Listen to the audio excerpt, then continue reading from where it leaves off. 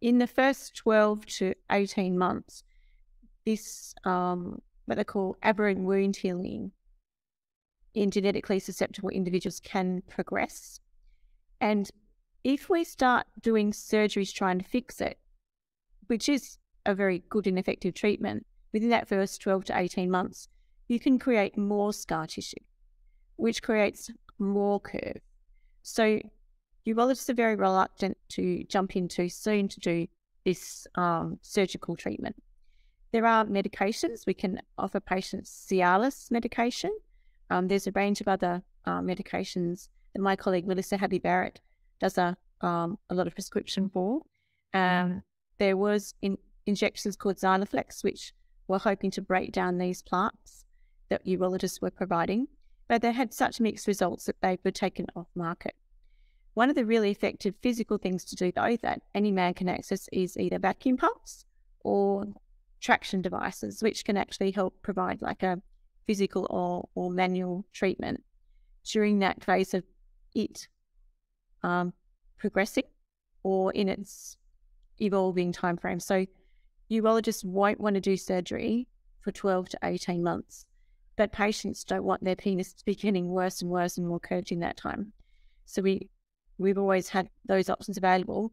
Now, when I was doing my um, PhD studies, and I did a um, previous presentation with you, of which many men across the world actually contacted me, um, there had been case studies reported in the 1980s of using something that most physiotherapists have in their offices, which is therapeutic ultrasound. And I was able to show that if we got onto these smaller lumps and bumps, we could actually almost dissolve them quite quickly and prevent that curvature from progressing. So physiotherapy has a large role to play. Um, I work a lot with um, physios that I mentor around the world, just in the protocols now that my papers have been published.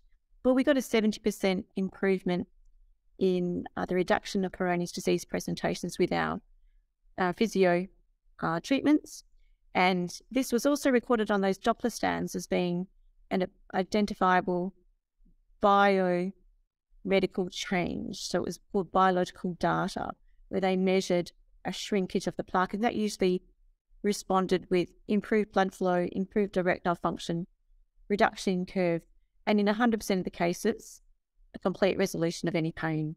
So it sounds like are there more physiotherapists now over the world who have one of these machines and, and know how to do this technique?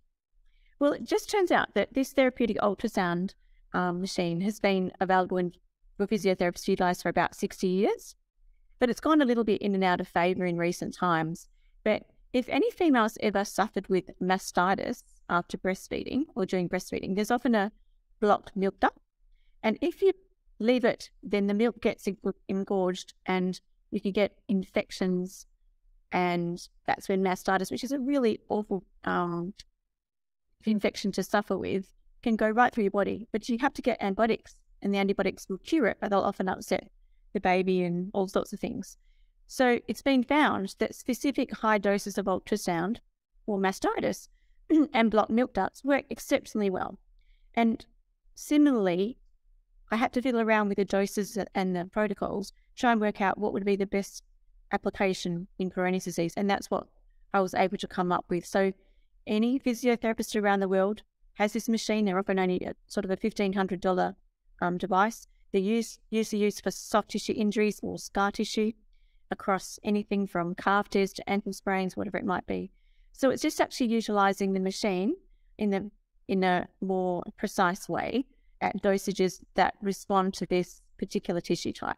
So we want it really quite warm the protocol is a 1.5 to 2.5 watts per centimeter squared intensity on a 3 megahertz frequency for 10 minutes.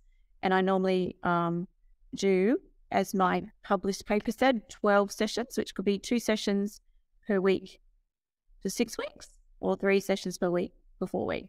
And that's where we got the 70% improvement in Peyronie's and then 100% um, reduction in pain. What I add as well is um, I normally find the pain resolves within three or four ultrasound sessions.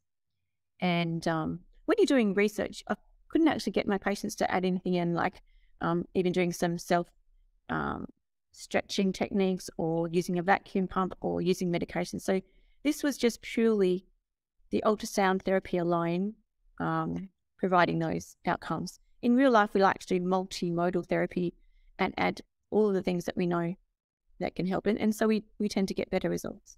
It's fantastic and really encouraging to hear that there is more than just surgery. Is there a list of um, physiotherapists who are trained in this technique at the moment? So the paper only got published in 2020. So what's a good start is to take the paper, which I'll share with you as a link, and take it to any physiotherapist.